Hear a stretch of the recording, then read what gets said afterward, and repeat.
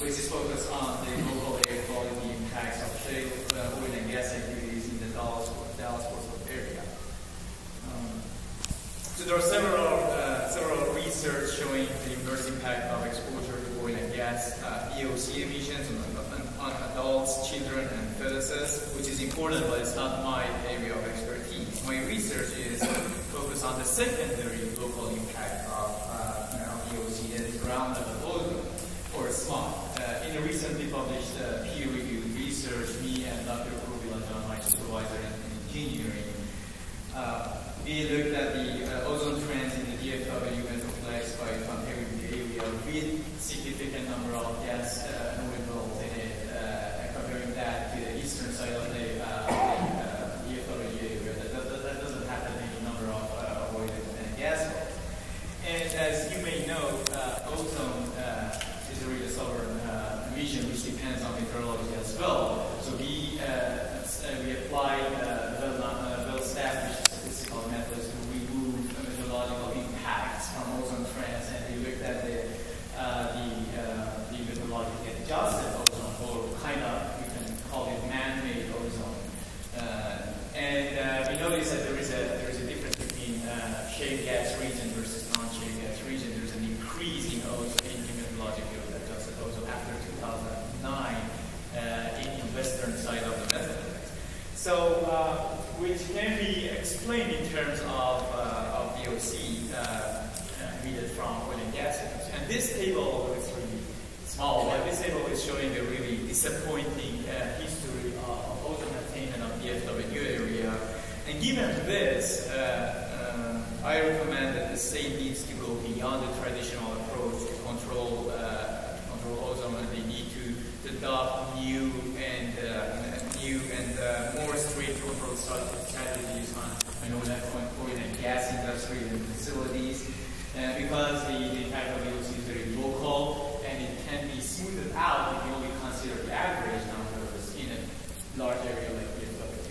And this is another graph showing just a comparison between VOC trends in Dallas versus Denton. Uh, the blue uh, one is uh, is Dallas uh, since 2000 2014, and the, and the red one is, is Denton. Uh, considering the number of people living in these two cities and the traffic load, it's really, uh, I mean, the difference is really significant and kind of shocking. And I broke down the, the graph into more graphs showing the average value trends and also the, the maximum and 19 percentile uh, um. So on the, on the left side is the median and average and, and, and mean value trends, Dallas versus Denton. And on the right side is 19 percentile and the, and the maximum value trends. Both shows there is a, there's a huge gap between Dallas and Denton.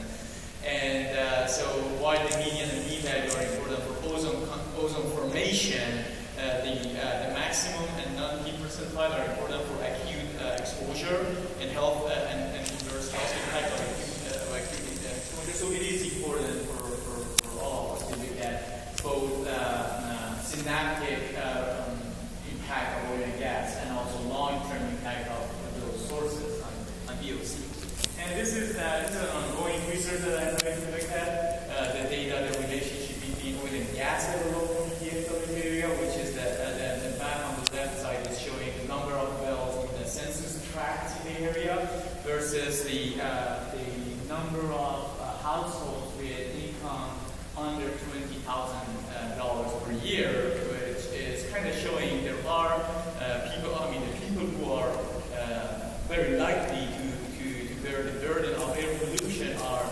also uh, um, likely to be from families with lower income, and also from uh, from a family without health insurance. The, the left, uh, the, the right map is showing the number of uninsured people in the census tracts.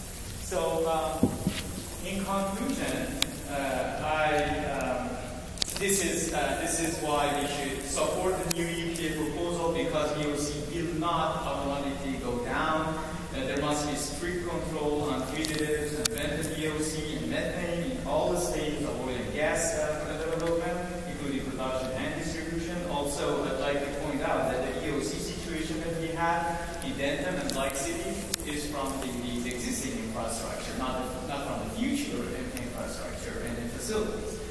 So uh, that is why we also need the same uh, control on the existing facilities and infrastructure.